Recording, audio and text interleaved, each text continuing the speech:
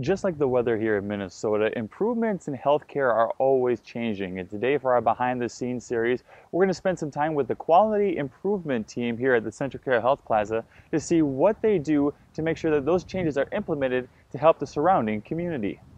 The medical field is always changing, and to keep up with those needs, a group of people are put in charge of quality control. Well, one of the things that we do is we really cultivate innovation for the health system.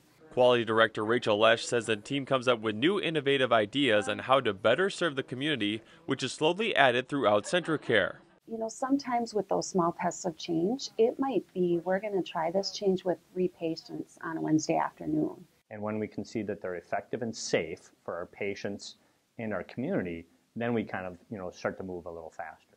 Medical Director George Morris says as the doctors apply the changes for a while, a monthly meeting is held to go over the results. And so we really try and have the quality, performance improvement, innovations aspects of CentraCare bring all those ideas together and say, now, now what do we do? The department then finalizes the plans using an algorithm and implements the changes into the system.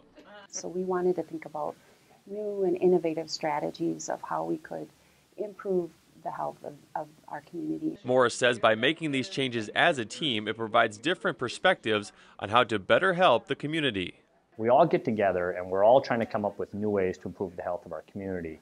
And we bring them together and we make changes when we can. And, and I think that's the best part of the story is the team efforts that go on. Reporting from St. Cloud, Alex Swikowski, WJON News.